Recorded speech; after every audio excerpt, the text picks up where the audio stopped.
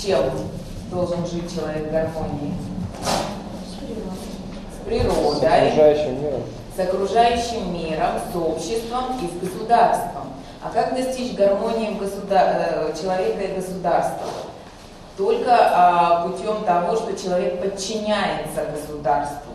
А Конфуций говорил о том, что как в семье должна быть гармония, дети должны подчиняться родителям, жена должна подчиняться мужу, человек должен подчиняться законам общества, а общество в целом, и человек в частности, должны подчиняться интересам государства. А что значит подчинение? Это не просто э, силой заставлять, это обязательно чувство долга и ответственности перед своей семьей, перед обществом, перед государством. То есть эта гармония основана не на силе, не на насилии, да, а на чувстве ответственности и долга. Чувстве ответственности и долга. А, причем действительно человек должен быть предан государству, он должен работать на благо государства и не требовать ничего взамен. Да, то есть государство также будет заботиться о своих детях, но вместе с тем а, э, человек не должен выдвигать каких-то там требований государству. И вот эта трудоспособность, ответственность а, китайцев, она, в общем-то, известна во всем мире. А вот э, известно не, не только в Китае, там Японию, можно Южную Корею привести тоже в примеры. А, значит, когда человек вообще принято там немножко э, значит, сегодняшнему же дне пожизненная занятость. То есть человек приходит на предприятие, работает там всю жизнь. Вообще увольнение в Юго-Восточной Азии это подобно смерти. Люди нередко заканчивают жизнь самоубийством, если их, не дай бог, там сократили. То есть это конец жизни, потому что это как будто тебя выгоняют там из семьи, становишься изгоем и так далее. Да? То есть преданность предприятию, предприятие заботится о своих работниках, работник абсолютно предан предприятию. Э, в Юго-Восточной Азии единственное государство, где а, страны Юго-Восточной Азии, где самый а, продолжительный рабочий день в мире. Да? Самый короткий рабочий день, например, в Голландии, да, и вообще в европейских государствах. В Голландии средняя продолжительность рабочего дня 5 часов. Да, то есть это крайне немного. В среднем по Европе 6-7 часов. Да? А Китай, Япония, Южная Корея, там, Сингапур и так далее, это 10-12 часов продолжительность рабочего дня. И причем речь идет не о том, что он официально 12 часов. Значит, заканчивается рабочий день, там 5 или 6 часов вечера, никто с предприятия не уходит. То есть не так, что прозвенел звонок, все побежали бегом по своим делам, нет. Все сидят на своем рабочем месте, не принято уходить с работы. Почему? Потому что ты что-то не доделал, ты можешь вдруг понадобиться и так далее. То есть люди сидят до 8 до 9 часов вечера, не получая за это дополнительную оплату, это их личная преданность, личное желание. Да? Не принято уходить в отпуск. А, тем более не принято уходить в отпуск на месяц, да, максимум там две недели. Вот в Японии это связано, в общем-то, с психологическими проблемами, которые сейчас существуют там. А сейчас просто указание правительства гонять людей в отпуск, так скажем, да, в кавычках гонять, то есть отправлять обязательно людей в отпуск. Люди не уходят, потому что, опять же, это может понадобиться, опять же, это чувство ответственности и так далее, и так далее. Единственные государства, Китай, Япония, Корея, опять же, где среди официальных причин смертности есть переутомление на работе. Там больше в мире таких причин, как бы в одном, в других эм, частях мира нет. Вот, поэтому вот эта дисциплина, ответственность, трудоспособность, она вот заложена была еще в философии Конфуция. Что касается государственного управления, то Конфуций выступал за мудрость правления. Мудрое правление, это была идея Конфуция. И поэтому при каждом императоре обязательно был совет мудрецов, философов, которые ему помогали в управлении. То есть э, правление должно быть мудрым и должно, безусловно, быть образцом. То есть люди, которые находятся во власти, они должны быть моральным, этическим образцом для всей, для всей нации. И поэтому потеря лица, потеря репутации, это в Китае подобно смерти, так же как в Японии. А, нельзя человека, эм, достаточно высокий уровень коррупции в Китае, в Японии, но нельзя человека, чиновника просто так обвинить в коррупции. А, как вот, допустим, в России мы можем говорить о том, что там тот или иной чиновник, он, значит, э, там замешан в делах, но этот чиновник это не принимает во внимание, что ему так думают, да, его это не волнует. Китае абсолютно не так. Если человека обвиняют в чем-то, то он а, теряет все, он теряет все должности и нередко теряет жизнь, потому что смертную казнь в Китае никто не, не отменял. Очень часто а, и самое большое количество смертных приговоров, и, а, которые приводятся и в исполнение, это именно Китай, да, он лидер по этим показателям.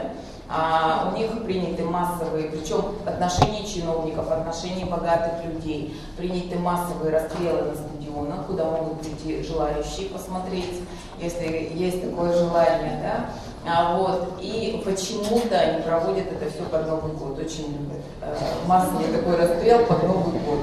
Вот, но только китайский имеется в виду, да, но, вот, не знаю почему, но в общем, вот. И а, вот э, в Китае сейчас происходит смена власти, о чем я тоже сейчас скажу. И, а, естественно, этому предшествует достаточно серьезная внутрипартийная, внутри а, так скажем, борьба. И один из чиновников, который претендовал на роль первого лица значит, Китая, да, он а, Бо Силай, его зовут, значит, его жену обвинили в том, что она осуждена сейчас в убийстве, заказном убийстве английского гражданина. Да? Она, естественно, вину признала, сказала, что муж ни сном, ни духом, да, ничего не знал, в общем, все взяла на себя и приговорили, кстати говоря, к смертной казни со строчкой на два года. Но вероятнее всего это будет а, пожизненный срок. Он был лишен следствия, его никто не признал виновным, никто против него обвинений не выдвигал, был лишен всех постов, всех должностей, всех привилегий, да, потому что вот потерян уже образ а, добропорядочного а, правителя. И вот эта вот идея о том, что проявление должно быть не просто мудрым, но и действительно должно быть этическим, моральным, нравственным образцом для всех, она вот тоже идет от Конфуция. И что касается внешнего влияния, то Конфуций говорил, что любое внешнее слово, любое внешнее воздействие должно быть услышано и может быть принято Китаем, но с учетом китайской специфики. И в этом отличие Китая. Китай никогда вот так агрессивно не отвергает какие-то западные ценности, как, например, исламский мир, да, их не принимает. Китай все это принимает, но с учетом все специфики Китая. Да, и Китай любит говорить о том, что все, что попадает в Китай, оно китаизируется. Вот, и действительно приобретает такие формы, которые соответствуют истории, культуре Китая. Об этом тоже говорил Конфуций. Значит, 1911 год происходит демократическая революция в Китае, и на смену монархии приходит демократическая партия. Демократическая партия Китая по главе с таким лидером, как Чан Кайши. Можете не записывать. Там, значит, э, имеется, она просуществовала до 1949 года. Демократия, ну, она условная демократия, да до 1949 года, когда, видите, когда а, была свергнута коммунистическая уже а, партия. Да? Так вот, демократическая партия Китая во главе с ее лидером укрылись в 1949 году на острове Тайвань и э, провозгласив себя единственным законным и легитимным руководством. И надо сказать, что до 70-х годов даже Организация Объединенных Наций считала законным руководством Китая именно вот демократическую партию, проживавшую на, уже на острове Тайвань. Все проблемы с островом Тайвань, которые есть до сих пор в Китае, они связаны с тем, что американцы в 1949 году гарантировали китайскому правительству в изгнании они гарантировали ему независимость и гарантировали ему военную защиту. И до сих пор эти гарантии Америка, в общем-то, себя не снимала. И вот эти проблемы с островом Тайвань, с тем, что он вот, не принадлежит Китаю, они сохраняются до сих пор. А в 1949 году приходит к власти коммунистическая партия Китая. И китайцы в 2009 году, это было 1 октября, а, отмечали 60 лет созданию китайского коммунистического государства 60 лет. А, это знаменательная для них была цифра, потому что китайский традиционный календарь поделен на 60-летние циклы. И а, они говорят о том, что первые вот эти 60 лет 49 -го года Китай поднимался с колен после столетия унижений. Вот. А сейчас новый, с 2009 года цикл 60-летний, когда Китай, по мнению китайцев, должен занять достойное Китая место в мире. Естественно, какое-то место первое. первое, да. То есть, естественно, что Китай сейчас будет стремиться э, к мировому лидерству. Но эти 60 лет были очень неоднородны для Китая, потому что первые 30 лет Китай а, провел под э, руководством Мао Цзэдуна, да, значит, а, а, значит, а, причем китайцы пытались копировать советский опыт.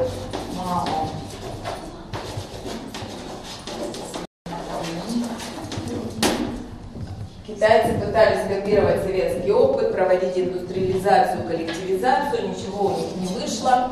И а, значит, в результате а, голод, а, в результате нищета, в результате, естественно, внутренние, внутриполитические противоречия между китайскими лидерами. И для того, чтобы сохранить власть, а, Мао Цзэдун в 1967 году под его инициативе проводится Великая культурная пролетарская революция. Наверное, слышали такое выражение «культурная революция в Китае». 67 год. Она была далека от культурной революции, ну, если говорить о культуре. Мао Цзэдун, который был, естественно, диктатором, тоталитарное правление, он понимал, что э, чтобы сохранить власть в своих руках. Он, во-первых, репрессировал очень многих своих сподвижников, как это делал. Вообще Сталин был для него кумиром, для Мао Цзэдуна. И э, советско-китайские э, отношения испортились после 20-го съезда КПСС, когда Хрущев обвинил, значит, Сталина в репрессиях. То есть для Мао Цзэдуна это было, в общем, значит, он не принял вот этот вот съезд, и, в общем, отношения ухудшились. Но на самом деле он увидел, в чем он увидел проблему, когда возникает, почему возникает оппозиция, кто главный враг вот такого диктаторского правления, почему люди недовольны властью, почему они начинают выходить на улицы и протестовать, в чем причина этого? Как вы думаете? Ущемление прав. Так, еще. Он увидел главный корень зла в образовании. То есть чем человек образованнее, тем он начинает более критически, он критически мыслит, он оценивает, начинает критиковать все, что вокруг, да, и, соответственно, что нужно сделать? Нужно уничтожить образование. Значит, что и было сделано в Китае? Высшее образование на 10 лет практически не существовало, вузы ну, не работали, там для медицинских было сделано исключение, но так набора вуза не было в течение 10 лет. Школы он считал достаточно там 3-5 классов. И эти все годы школьники изучали одну единственную книгу, как правило, ну не совсем, но тем не менее. Значит, главный предмет это книга э, с цитатами Мао Цзэдуна, которая забивалась головы, да, для того, чтобы люди вот жили этими схемами а, значит, и а, этими представлениями а уничтожались музейные ценности, сжигались книги и так далее, и так далее. Тот урон, который нанесла культурная революция в Китае, вообще сложно в истории Китая вспомнить такой значит, эпизод, да, который, а, значит, несмотря на то, что история Китая, в общем достаточно сложная, конечно. Вот, а поэтому действительно это позволило Мао Цзэдуну, в общем-то, еще на 10 лет оставаться у власти. Но, а, значит, э, конечно, ситуация это значительно не улучшила. Да? А, также голод, также нищета и так далее. В 1976 году Мао Цзэдун умер.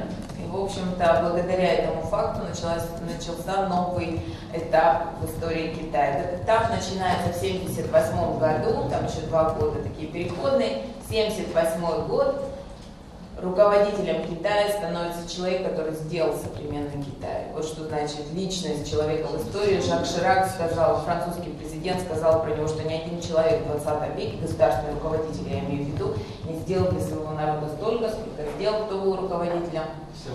Дэн Сяо Ин. Да, вот это имя запишите, потому что действительно именно этому человеку э, обязан Китай тем, что он стал второй уже державой, но в перспективе, возможно, и первой, Дэн Сяопин. В 1978 году приходит к власти он в Китай, и, в общем-то, с этого момента начинаются преобразования. Он провозгласил там четыре модернизации сельского хозяйства, промышленности, науки, военной сферы. Но в чем он увидел главные возможности Китая? А в чем а, те точки роста, так скажем, то преимущество Китая, за счет чего он мог создать ту экономику, которая рабочая сила, дешевая рабочая сила, да, огромная масса населения готовы трудиться, трудиться, трудиться практически без зарплаты. Зарплата, средняя зарплата в Китае в 80-е годы не превышала 50-100 долларов. Да. А сегодня зарплата в Китае, ну, порядка 500 средняя, опять же, ну, это как средняя температура по больнице, конечно, но тем не менее. Вот, где-то 500-600 долларов. Да. Значит, а, и второй момент, помимо дешевой рабочей силы, что еще выгодно отличает Китай? Ну, ресурсов у Китая, кстати говоря, да, есть, но не так много в Китае. Что его отличает? В чем его преимущество еще? А? Выгодное географическое положение. А в чем выгодность этого, преимущество этого? Ну, суша понятно, да, но куда он выходит, да? какому не морю даже, да? Тихий океан, да? А что позволяет Тихий океан? Почему он так важен? С кем торговать?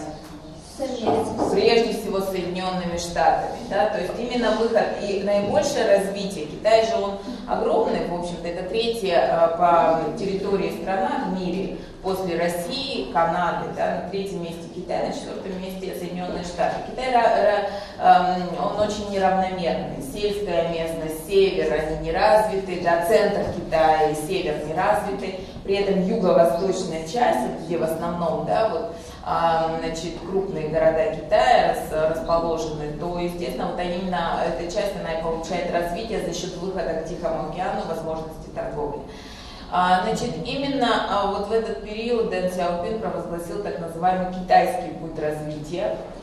И в 90-е годы очень популярна была идея в России, говорили, что вот в чем ошибка России, в том, что она не пошла по китайскому пути. Да?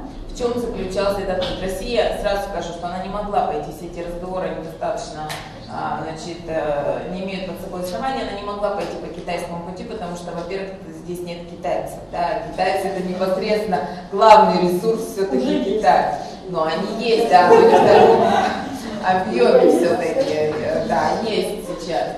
Вот. Но, а, естественно, что китайский путь развития заключался в чем? В том, что они э, провозгласили экономическую модернизацию, экономическое преобразование, ушли от коммунистических представлений об экономике там, центрального планирования.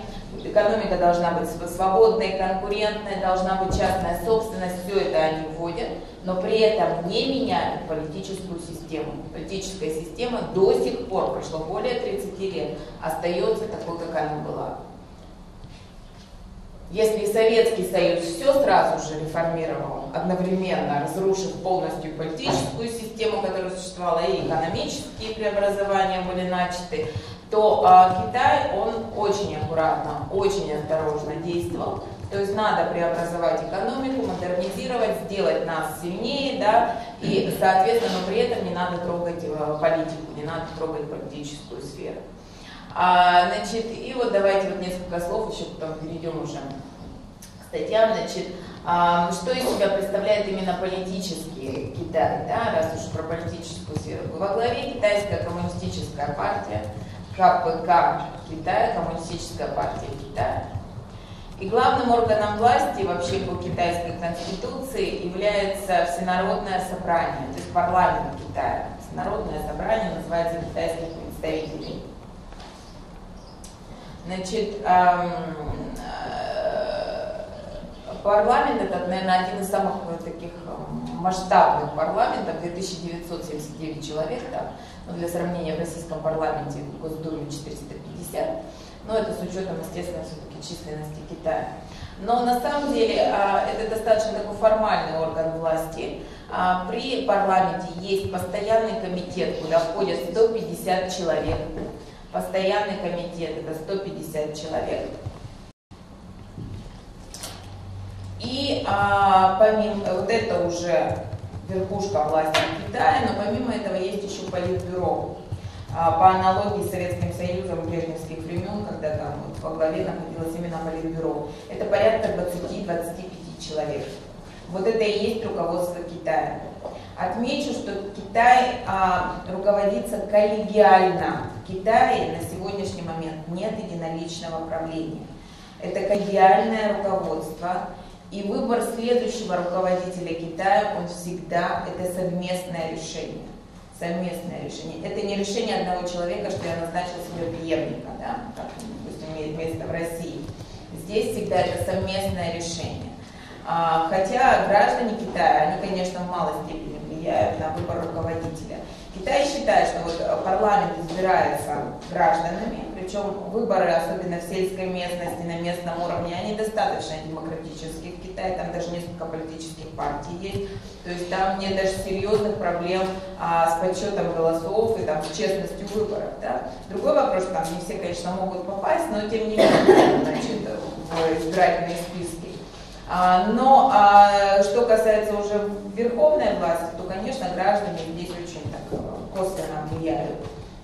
Вот. А, значит, смена власти в Китае происходит каждые 10 лет. Вот Китай не руководится а, после Мао Цзэдуна, а, они ввели вот эту смену власти. Она происходит, еще раз повторяю, не с помощью всенародного голосования, но она происходит. То есть э, она условно 10 лет, там иногда 11, там, 12, но это уже идет период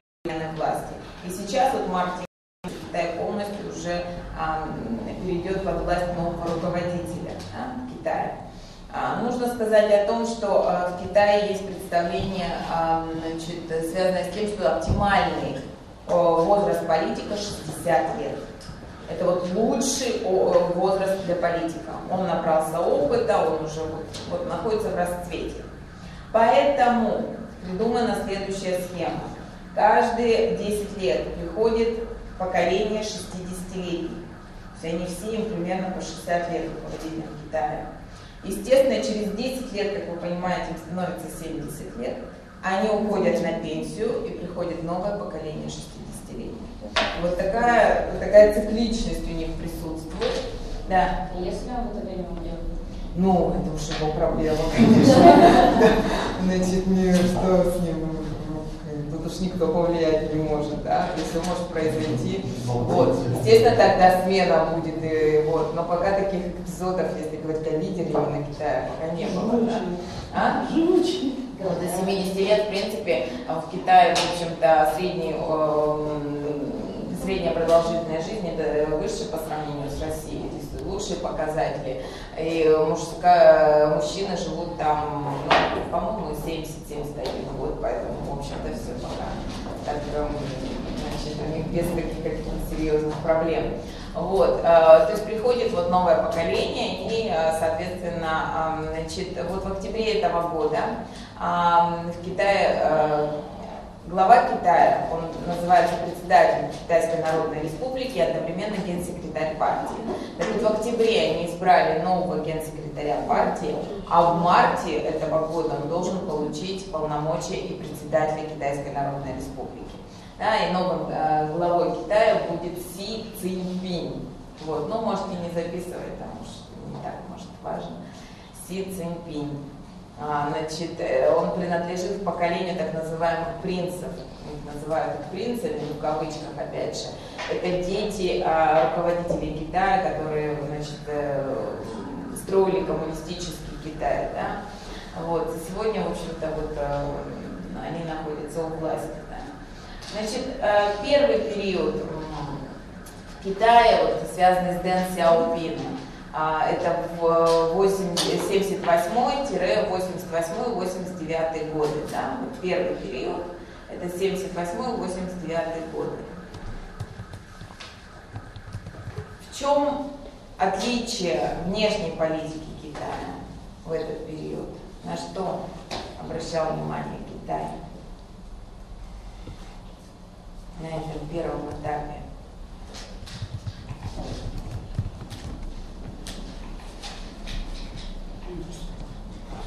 Внешняя политика.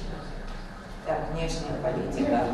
Больше это внимание, он как вел? Именно на внутреннее развитие, да, то есть первые 10 лет как раз Китай концентрирует, он очень себя осторожно вел во внешней политике, и завет Дэн Сяопина, а, который, по-моему, в конце там статьи его заветы приводятся, да, значит, а, главный завет это скрывать свои возможности, вот китайцы до сих пор, они пытаются, значит, уже весь мир понимает, что Китай уже, конечно, не просто там отсталое государство, а, возможно, в ближайшем будущем сверхдержава, да, но китайцы все время, они вот себя очень осторожно, они говорят, нет, нет, нет, мы вот, мы тут как бы совсем при чем, мы тут еще очень не развиты, у нас еще много очень проблем, а вот это, об этом говорил Топи, надо жить все лучше, работать все больше и больше и свои возможности.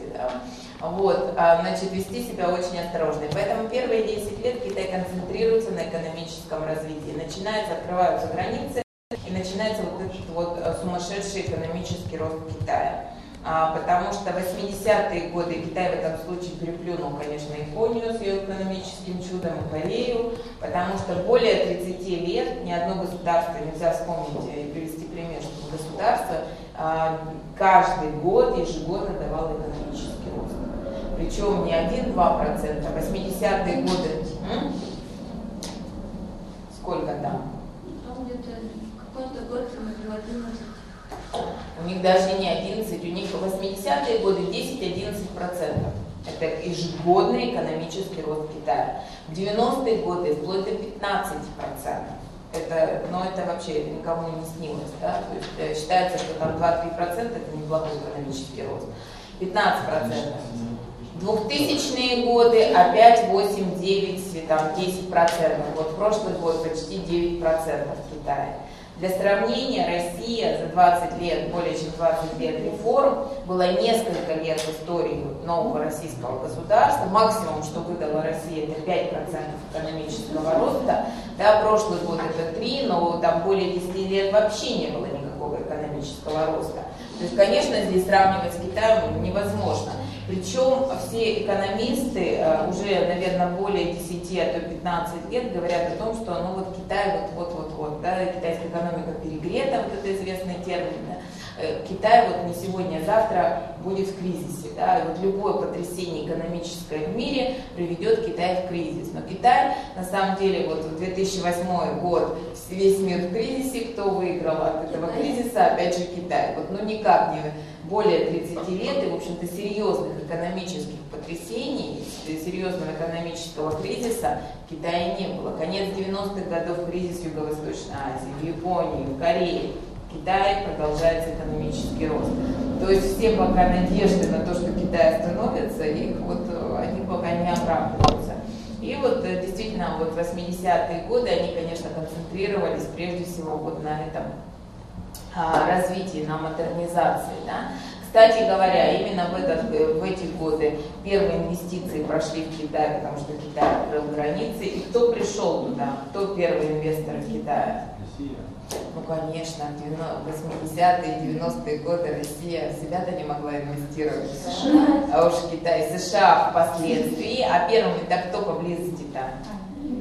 Япония и так называемые азиатские тигры. Да? То есть азиатские тигры это, юго, это Южная Корея, это Сингапур, это Тайвань тот же. Да? А, значит, э, они начали вкладывать в Японию, один из крупнейших инвесторов Китая, хотя отношения Китая и Японии крайне сложные, исторически сложные. Вот, но а впоследствии, конечно, Соединенные Штаты. Штаты начали вкладывать в Китай, и Китай стал вот, сборочным цехом постепенно и пошивочным цехом всего мира. Да? Вот. А, значит, что меняется в 89 году? Ну, происходит смена руководителя в Китае, приходит Зянь Зиминь, тоже можете не записывать, да? А, значит, э, что происходит в этот период? Что меняется во внешней политике Китая, да и во внутренней? Распад Советского Союза. Распад Советского Союза и какое впечатление он произвел на, произвел на Китай? То, что он, с ним могут поступить так же США, как и с собственным Советским Союзом. Да, то есть отношение Китая, на Китай очень такой серьезное это впечатление произвело распад Советского Союза, они поняли, как не надо делать. Да, то есть они, а, если еще и были идеи каких-то политических преобразований, то после распада Советского Союза, когда вот начинаются политические преобразования, в результате вся страна, империя, сверхдержава распалась, да, значит, китайцы поняли, что надо быть очень осторожными, и, в общем-то, именно память об этом факте не дает им на сегодняшний день проводить серьезные изменения в политической сфере. То есть там все остается действительно точно так же. А вот 89 э, год, очень такой печальный год в истории Китая, потому что связано это с выступлениями на какой площади? Тяньаньмэнь, да, э, значит, а кто вышел на эту площадь? Студенты, чего они хотели, эти студенты? Учиться они учились уже, уже система образования работала. Вот как раз они хотели политических изменений. Как в России сейчас студенты тоже выходят, да, значит, например, там, молодежь выходит, Потому что когда вы открываете границы, то, естественно, начинает поступать информация, естественно, внешнее влияние. Естественно, за свободной экономикой хочется и свободы в политических отношениях. И студенты наивно полагали, что Китай может измениться в этом отношении. И в 1989 году массовые выступления студентов по э, требованию демократических свобод, соблюдения прав человека и так далее. Да? А, Китай поступил крайне, руководство поступило крайне жестко, там были выведены танки, в общем-то, вся эта а, демонстрация была уничтожена фактически. Сколько там погибло, тысяч человек, не, неизвестно по сей день. Вот. Но на самом деле, конечно, это доста... Э, и надо сказать, что после этого серьезных выступлений в Китае пользу прав человека и свобод уже не было. Да? Вот, поэтому нет до сих пор. А вот, поэтому вот в Китае, эм, э, значит, естественно, это осудил весь мир, но тем не менее Китай в этом смысле всегда действует очень жестко. То есть то, что внутренняя политика Китая, это его внутренние проблемы. А что меняется во внешней политике? Китая в этот период, в 90-е годы уже. Ну, БРИК появляется. Ну, да, так. То есть это такой альянс России, это Примаков в свое время высказал идею, что России надо объединяться с Китаем, как противовес а, Соединенным Штатам. Но Китай очень активно начинает действовать где? Он начинает э, отношения себя. Регионально, начинает позиционировать себя именно как региональная держава. То есть пытается наладить отношения с соседями, выстроить так называемый поиск добрососедства. Да? То есть он вот активно начинает сотрудничать, заключать. Кстати говоря, именно в 90-е годы были сняты все вопросы о территориальных претензиях между Россией и Китаем. Официально претензии у Китая к России, а у Китая претензии к очень многим он граничит э, с э, более чем 10 государств, да, у него ко всем были территориальные претензии, вот, но на самом деле тут с Россией сейчас вопрос улажен. Другой вопрос, что а, вообще карты Китая, даже в учебниках некоторых Китая, карта Китая выглядит не так, как она выглядит, э, карта мира, скажем, да, не так, как она выглядит, нет, она, безусловно, не на весь мир, но там намного желтее, Китай, он же желтый, да, на карте, поэтому там вокруг вот э, территории, которые, в общем-то... Монголию, да? А, Монголия, кстати говоря, безусловно, это сфера интересов Китая. Дальний Восток сегодня, это, конечно, сфера интересов Китая.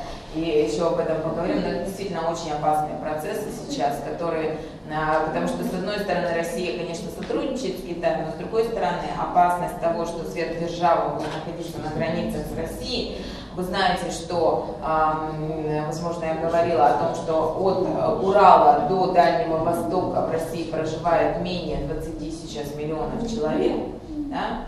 Дальний Восток это 6 миллионов человек, и там плотность населения, а вообще э, Китай, в России низкая плотность населения, как вы понимаете, территория огромная, 142 миллиона, то есть у нас плотность населения, там, по-моему, 8 человек на квадратный километр. В Китае 139 человек на квадратный километр, но в Японии еще больше 300, а, например, там в Сингапуре 6 тысяч на квадрат. Но Сингапур там совершенно маленькое государство, да? Так вот, на Дальнем Востоке в России, но а, расселение-то неравномерное, поэтому на Дальнем Востоке один человек на квадратный километр. То есть там нет никого практически, никто не живет. Огромное количество ресурсов, это Сибирь Дальний Восток. А приграничные провинции Китая это 300 миллионов человек. То есть и отсутствие ресурсов там, кстати говоря. Вот, поэтому естественно, что это очень опасно. Более того, Дальний Восток сегодня а, российский, он и намного более тесными отношениями связан экономическими с Китаем, чем с остальной Россией. Да, безусловно эти поездки на Дальний Восток и российских руководителей, а в последнее время этот форум АТЭС, внимание вроде э, там к Владивостоку и вообще в целом к этому региону. У нас даже сейчас вице-премьер есть по Дальнему Востоку, потому что действительно ситуация крайне сложная. Регион отрезан, долететь до Москвы из Даль... Э, с Владивостока, естественно, большая проблема, это очень дорого. Доехать до Китая или долететь до Пекина, там представляет никакой проблемы. Да? Поэтому, естественно, что... Дипломатические. А какую дипломатию начинают проводить? Ресурсы. Да, значит, Финансовую, финансовую дипломатию. Финансовую дипломатию, энергетическую безопасность, да, Китай, вот это основные идеи, его действия во внешней политике. Хорошо, как он может обеспечить себе финанс, э, финансовую безопасность? Что он делает? Он свою валюту начинает. Так, еще. Начинает С валютой Китая, так, тише, тише, тише, да, давайте. С валютой у Китая э, проблемы, э, почему? Потому что курс юаня занижен, и Китай его не хочет повышать. Да, естественно, потому что потеряет на значит, экспорте, да, э, импорте. Вот, поэтому э, Китай, э, причем юань не является до сих пор свободной конвертируемой валютой. То есть он не рассчитывается в юане, да, основной валютой конвертируемой для Китая для всего мира является доллар. Да. А американцы как раз они выступают за то, чтобы Китай сделал наконец юань конвертируемой валютой. И Китай сейчас начинает вот этот период, насколько там как у него это получится, но торгует он сейчас и рассчитывает со своей валютой, прежде всего с соседями, да, близлежащими государствами, в том числе, например, с Казахстаном. Да. А Китай, что касается, а вот почему Китай очень так благополучно для себя пережил финансовый кризис? Да, С кем не связан? Не с кем связано. Ни с кем вообще нет, он связан с своими местными. валюты не было, и в спекулятивных вот этих вот сделках Китай, в общем-то, не участвовал, и поэтому, естественно, а, что Китаю удалось, значит, а, действительно, он не встроен а, на самом деле вот систему экономических международных отношений, и поэтому он достаточно легко пережил этот кризис. Да? Что касается энергетической безопасности, Китай в этом году, ой, вернее, в 2012 году Китай вышел на первое место по потреблению энергоносителей. Перегнал Соединенные Штаты. Штаты всегда это более 20%, а то и четверть значит, потребления энергоносителей. Китай сегодня перегнал Соединенные Штаты. И Китаю ресурсов не хватает. Вот, на сего- вот говорили вы о том, что в Китае ресурсы, есть там ресурсы, но на самом деле для современных потребностей Китая а в отличие от Соединенных Штатов, если в Штатах энергоносители нужны на сегодняшний момент преимущественно на что? На что тратят? Нефть идет на что? А? На бензин, абсолютно правильно. В меньшей степени на промышленность. В Китае все наоборот. В Китае в основном потребности промышленности. Да. А, значит, откуда берет энергоносители Китай? Кто ему их продает и где сегодня экономические и внешнеполитические интересы Китая? Африка, да. В Африке сегодня Китай основной игрок, потому что Африка это ресурсный э, регион, и Китай готов сотрудничать даже с режимами, с которыми никто не сотрудничает в современном мире, там, например, тот же Судан. Да? А, значит, Китай в этом смысле, он даже не только ресурсы, там нефть, алмазы и так далее, да, даже территорию покупает сегодня в Африке. То есть покупается территория, огораживается забором, там Китай выращивает себе продукты для Китая, да, на самолеты все это и в Китае. То есть территория считается уже китайской, да. Вот, поэтому э, Китай сегодня в Африке, кстати говоря, помимо того, что берет там ресурсы, он еще очень серьезно стал заниматься инфраструктурой, это тоже изменение во внешней политике. Как Советский Союз в свое время активно э, строил во все, в Африке там заводы, фабрики, пытался строить дороги и так далее, да, сейчас этим занимается Китай очень активно. Вот, еще где интересы Китая, помимо Африки? Латинская Америка, да, безусловно, Латинская Америка. Китай, кстати говоря, в последние где-то 5-6 лет вышел на рынок вооружений. Это была сенсация для всего мира. Китай практически сейчас, он всегда в советский период, конечно, покупал советские вооружения. Сегодня он практически не покупает советские, российские вооружения. И Россия потеряла уже Китай как вот э, такого партнера именно в торговле, если брать торговлю оружием. Но Китай стал сам создавать оружие и продавать его очень активно в Латинскую Америку. Другой вопрос, что китайская продукция, особенно самолеты, истребители, они до боли напоминают российские аналоги, да, вот. Но на самом деле Китай не признает такого понятия, как авторские права, это всем известно. Китай очень активно ворует все технологии и, в общем, значит, э, привлечь на самом деле, вот, серьезно привлечь Китай за это не, удав, не удалось еще никому. Китай не только начал торговать оружием, в том числе вот Венесуэла, она закупала китайские вооружения, но Китай создал с нуля автопром, да, если а, в, э, в России все-таки автопром существовал, в Китае и в Индии своего автопрома не было никогда. Нуля они в 90-е годы начали этим заниматься. И Китай, и Индия. Индия, кстати говоря, а, создала вот лет тоже там 4-5 лет назад свой автомобиль, самый дешевый автомобиль в мире. Он, значит, такой народный автомобиль индийский, да, то есть это менее 2000, по-моему, долларов стоит. Вот. То есть, что? Типа? Ну, наверное. Вот. Но на самом деле вот это показывает а, Россия. В России, как вы знаете, с автопромом никакого прогресса до сих пор нет. Да? Вот. Несмотря на то, что значит, достаточно давно создан. Вот, поэтому естественно, что вот Китай, помимо Латинской Америки, что еще, какие регионы? Какой регион? Тихоокеанский, так, а нет, я имею в виду ресурсы. Иран. Ближний Восток, Иран. Иран, еще? Россия, Ну, Россия, да, вот с Россией, как это, э, значит, Россия вообще никогда не продавала э, нефть и газ Китаю, но сейчас построен нефтепровод в Китае.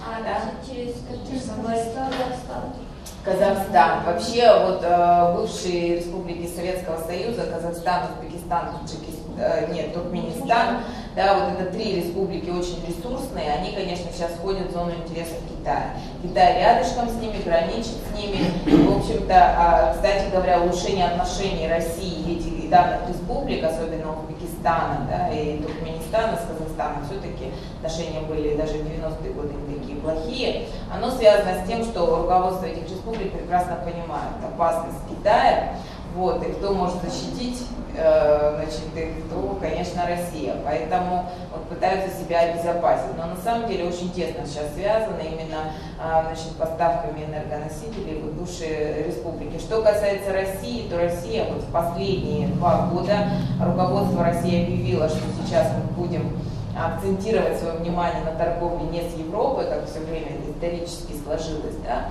а именно с Азией, да, и в частности с Китаем. Сейчас строится газопровод а, в Китай а, и плюс э, с Японией. Япония тоже сегодня, в общем-то, очень активно рассматривается как партнер вот в торговле энергоносителями. Да? Это, кстати говоря, опять же опасно для России. Многие говорят о том, что не стоит продавать нефть и газ Китаю, тем более строить газопроводы и нефтепроводы, которые напрямую свяжут Россию и Китай. И вести себя так, как иногда Россия там ведет себя в отношении там тоже Украины, да, или Европы, то здесь уже так не получится с Китаем, то есть, в общем, сегодняшний момент, да.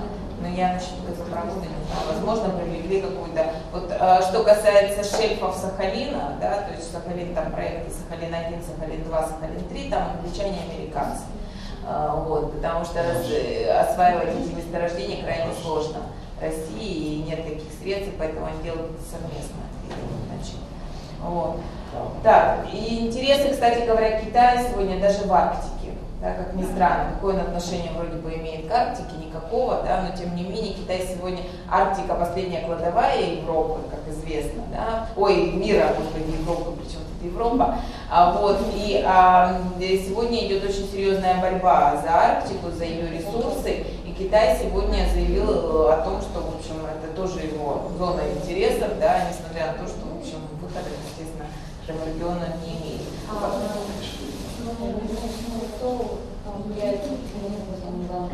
Арктика не принадлежит официально, естественно, она не принадлежит никому. А регулируется там все э, ООНовскими законами, нормами правовыми.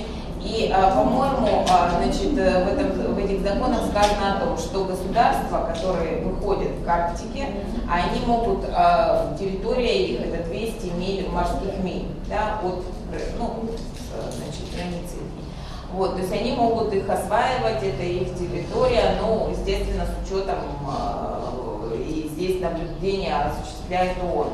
Все, что идет шельфы, да, значит, это все регулируется именно ООН и Советом Арктическим, куда входят вот все государства, которые, вот, опять же, имеют отношение к Арктике. А этих государств, по-моему, их 8. Кто туда выходит? Кто в Арктике? Ну, Россия, понятно, Соединенные Штаты, понятно, Канада, понятно, Дания, потому что там находится Гренландия, которая является частью Дании, да, дальше Швеция, Норвегия, Финляндия, и Исландия, по-моему, вот, 8, по-моему, их государств, да, то есть, так, тише, девочка, вот, 8 государств, вот они, между ними вот все это, и были очень уже серьезные конфликты между Канадой и Соединенными Штатами, там, из-за Арктики. Вот, а, значит, кто-то считает определенные территории международными водами, кто-то считает своими и так далее. И все это с учетом вот все равно международного права, и там ООН э, является ключевой, то есть она. А так как создан был в ООН наблюдательный совет, куда могли войти все желающие, потому что на самом деле все, что находится за вот этой территорией, это, в общем, никому, ну да, прерогатива этих стран, но тем не менее никому не принадлежит, и любое, любое государство может осваивать шельфы, может подавать заявки, и более 20 стран, в том числе Великобритания, Франция и Китай, которые никакого отношения не имеют, они туда уже подключились, что необходимо учитывать мнение остального мира, да, то есть этот регион уже, в общем, никому не принадлежит, поэтому почему здесь привилегии какие-то...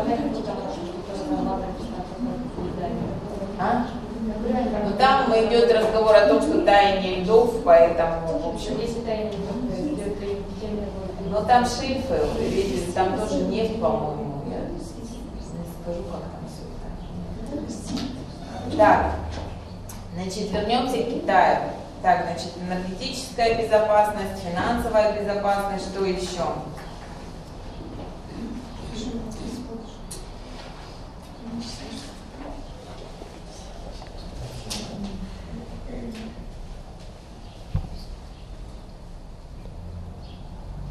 Какие еще там проблемы решает Китай?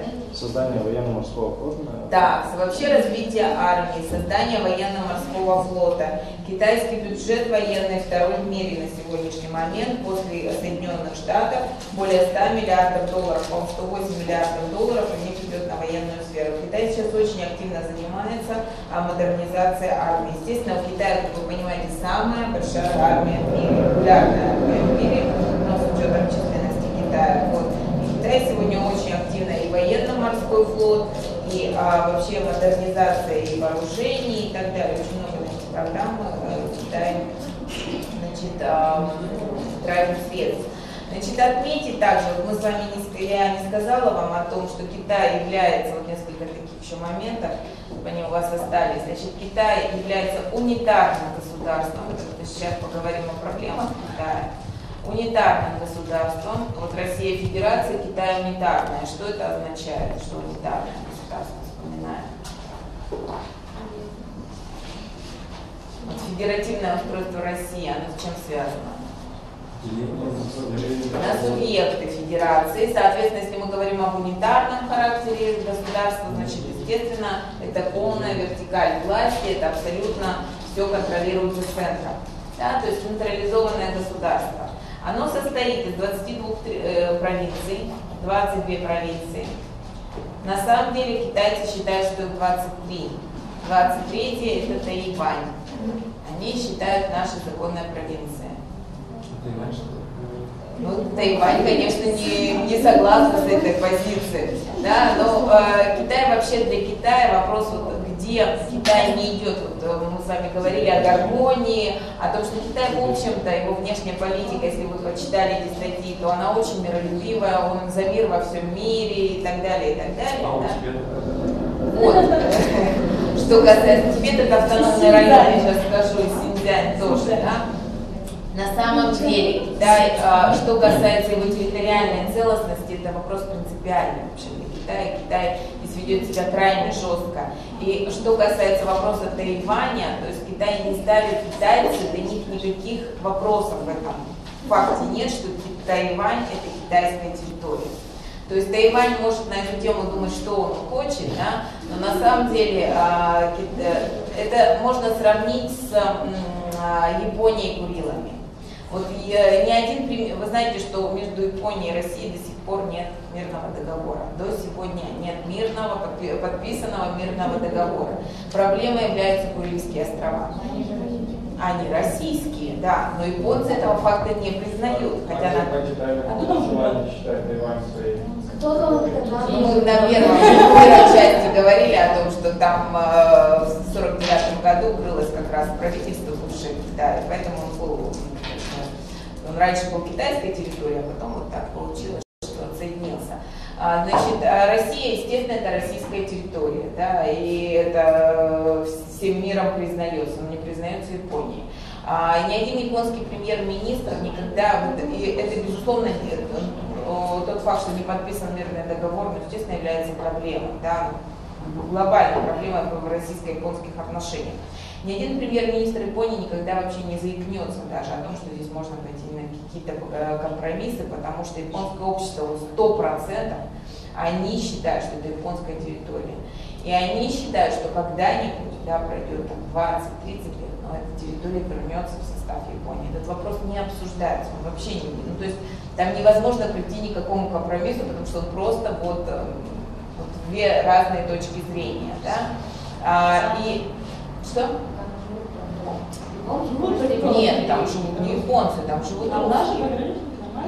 Ну Вот, там, э, и, вот, кстати говоря, первый, вот как мы сказали о том, тише, э, что и Дальний Восток сегодня больше связан с Китаем, чем с остальной Россией, вот то же самое Япония.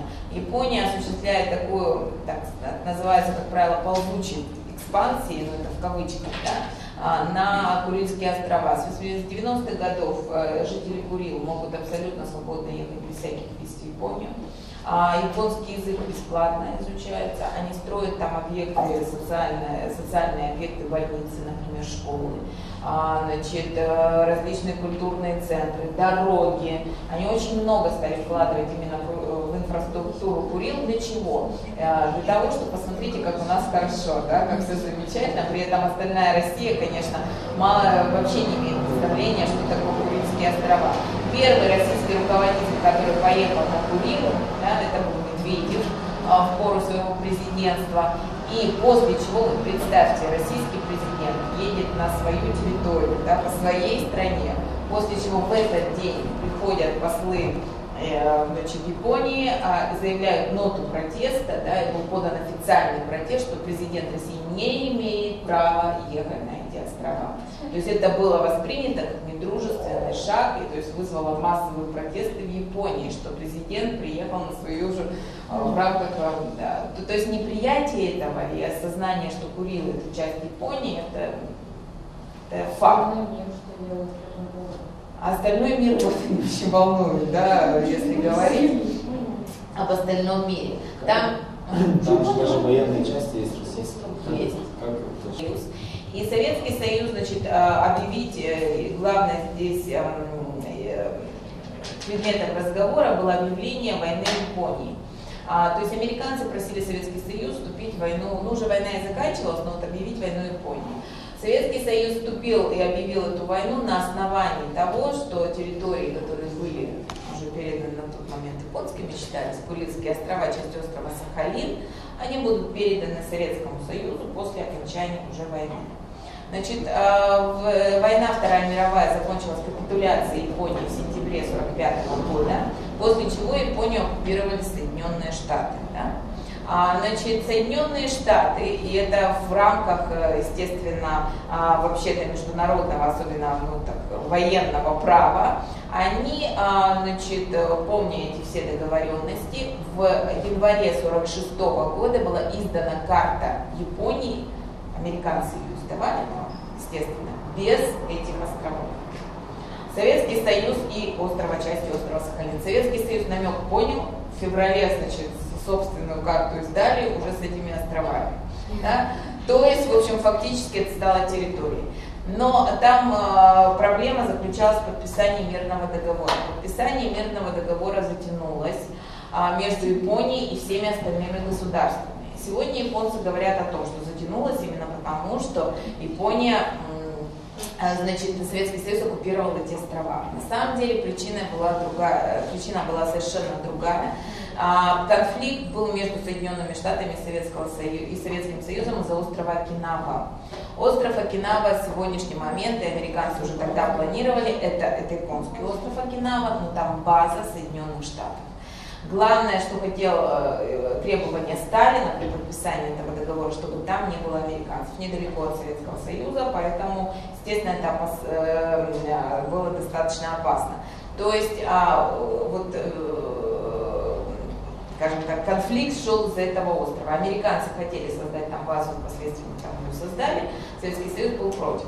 Значит, никак не могли договориться. В 1953 году в Сан-Франциско подписывается общий мирный договор между советским, ой, между Японией и, соответственно, всем остальным миром, потому что Япония же воевала не только Советским Союзом и там Соединенными Штатами, да, со всей коалицией союзников.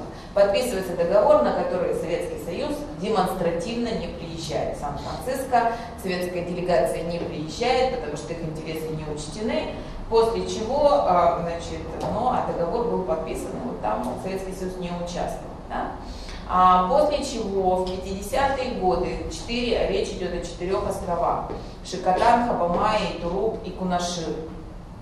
Значит, в 50-е годы пришел к власти Хрущев, который по- пообещал, что два острова, значит, Шикотан и Хабамай, ребята, мы вам когда-нибудь передадим.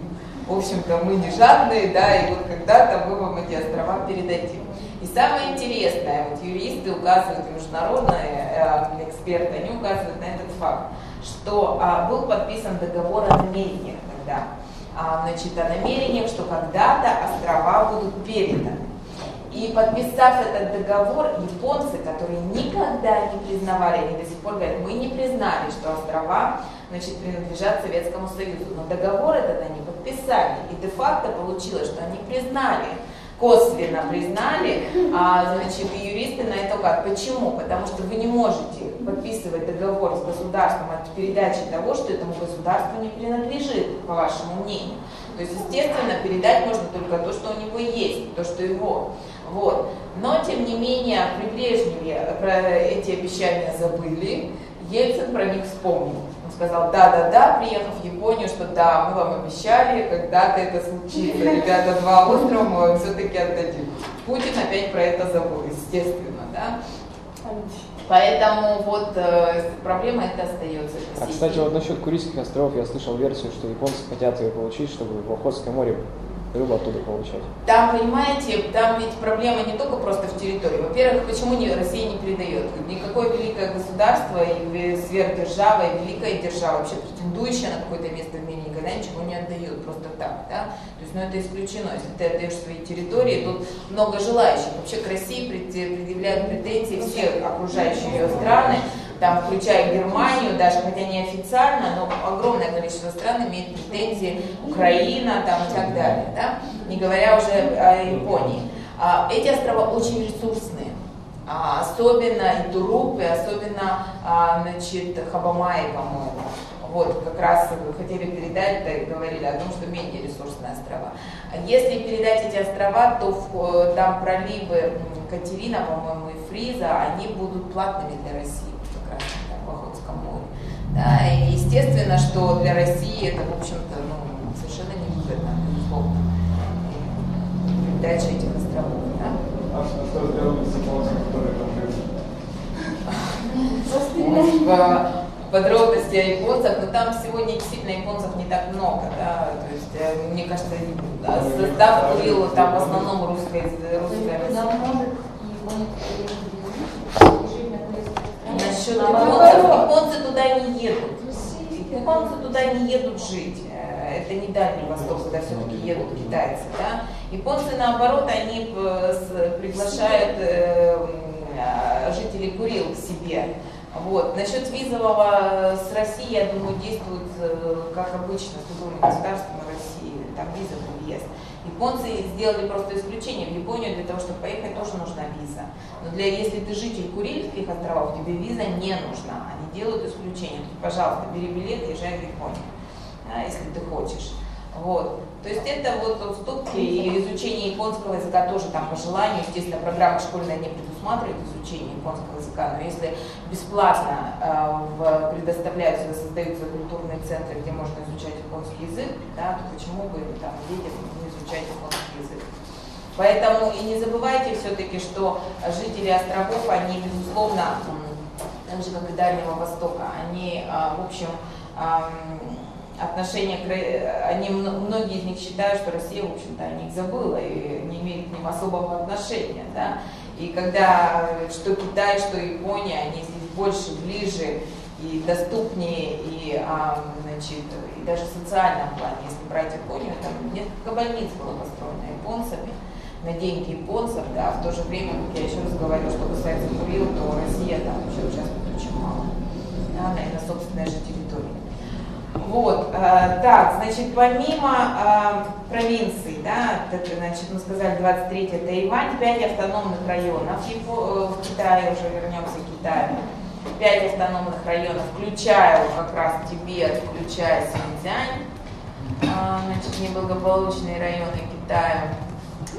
Дальше, там 4 муниципальных образования, Ну, это города, да, крупнейшие, такие как Шанхай, Пекин,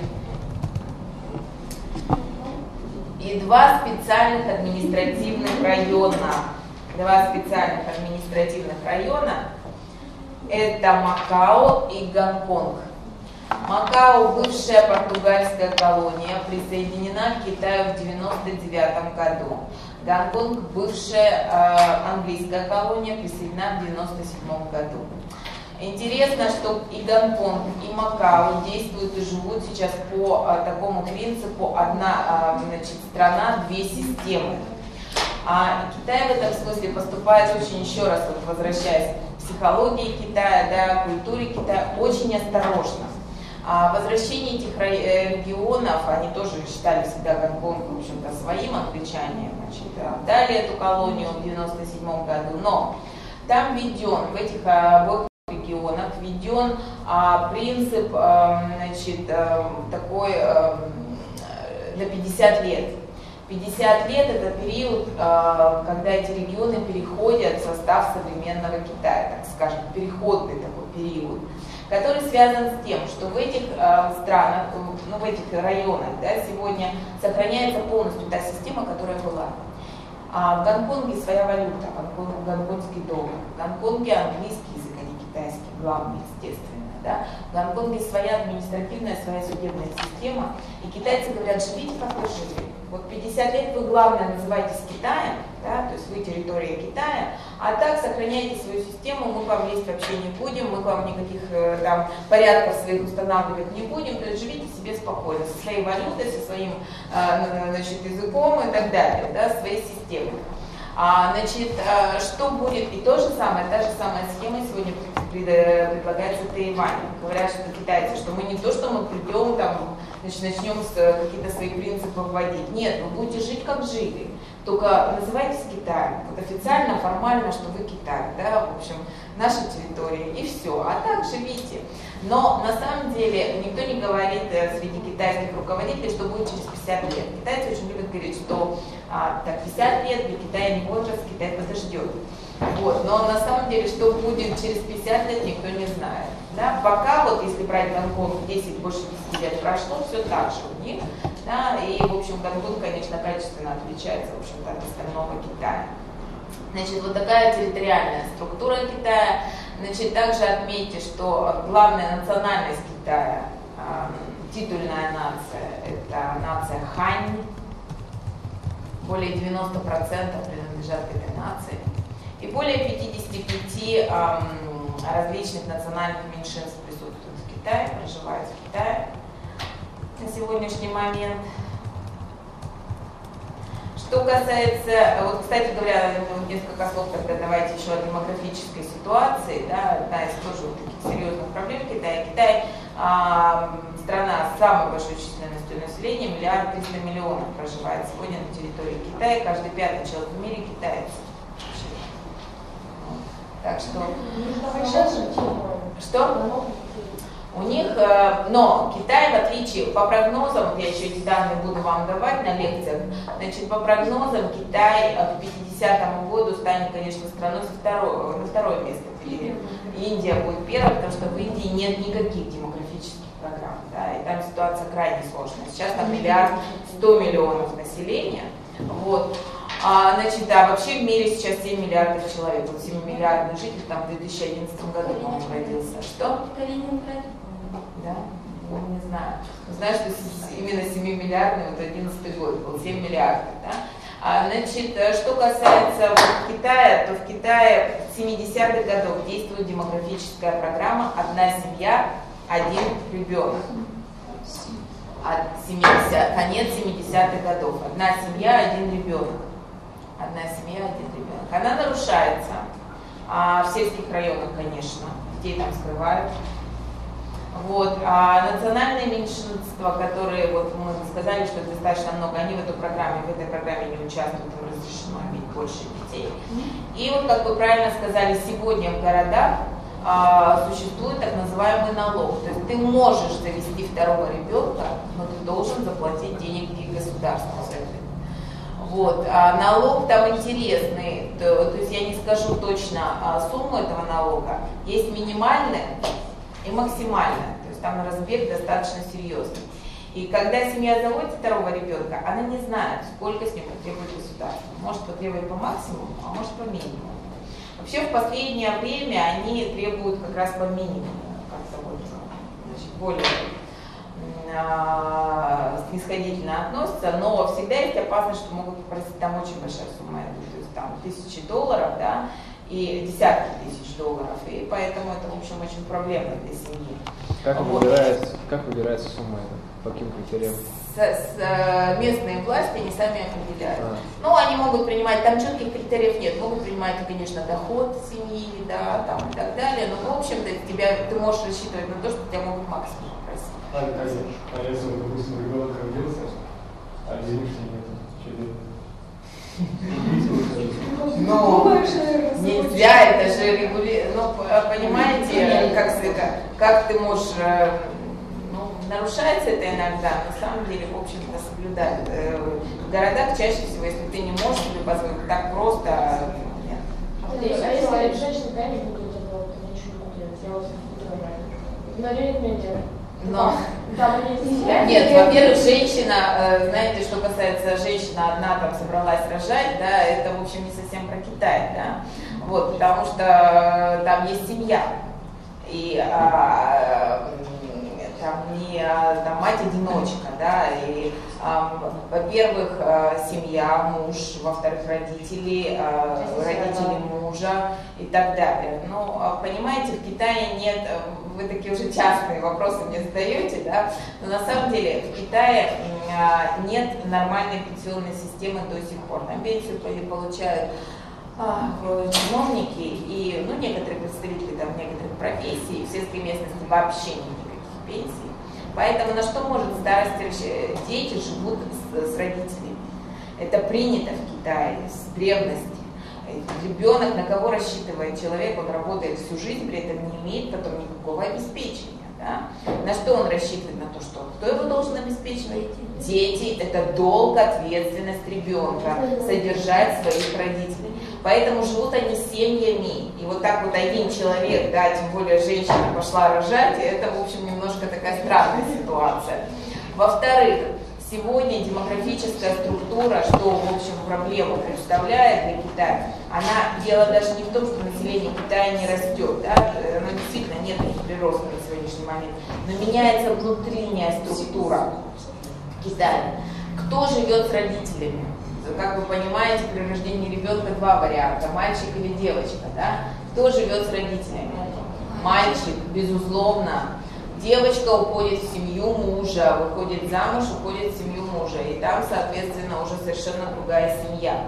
Поэтому кто нужен в семье-то для родителей? Сын, да. Поэтому, когда у, у людей есть выбор в, эм, при м, рождении ребенка, то оставляют мальчика. Понимаете? И э, сейчас а, проблема состоит... Что? А с девочкой что делают? Ничего не делают. Есть э, сегодня медицинские возможности определять пол ребенка еще до его рождения. Да? Поэтому стараются добиться мальчика. Значит, вот, работают именно по созданию мальчика. Мальчиков как раз таки мужское население. оно Мужского населения значительно больше сейчас. А какая денег тогда девочек делать? Девочек, э, ну вот, э, э, например, в России, в соседней России женщин, Россия принадлежит к странам, их всего там меньше 10 этих стран, где женщин больше, чем мужчин. За счет того, что смертность очень высокая, да, именно среди мужского населения, женщин значительно больше в России, чем мужчин. С учетом еще социальных проблем, алкоголизма, наркомании и других, которые есть в России, потребность мужского населения огромная да, в России.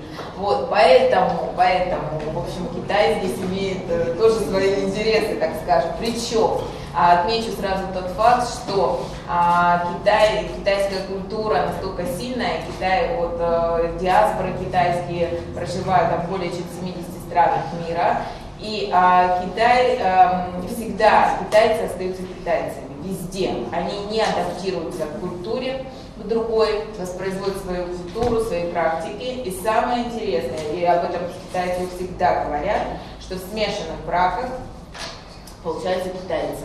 Все равно. Они именно... Вот, поэтому, в общем-то, ну, действительно, сегодня это серьезная демократическая проблема, и у них особенности среди молодежи, да, то есть там переход уже очень серьезный в сторону именно мужского населения, именно на рынок. На рынок, понятно. Вот. Не заходите. Вон на тагичек, ну там. Что еще? Они уже ребенка когда он не родился, и его Ой, ну слушайте, я вот говорю, что ну так серьезно я с э, выплатами Просто китайцев. если родился ребенок как бы его не существует, получается. Нет, ну вообще